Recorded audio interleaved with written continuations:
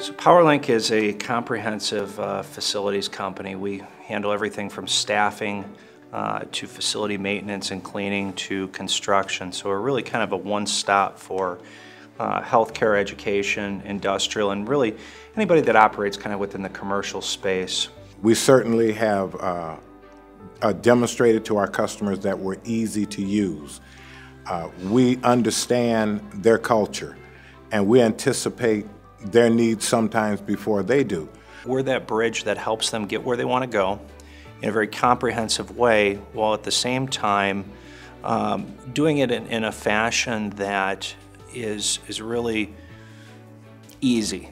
And we say that repeatedly that if we're easy to work with, then ultimately clients come back. Some of the biggest roadblocks was that we had not been successful in establishing even traditional banking relationships at the time that would guarantee our growth.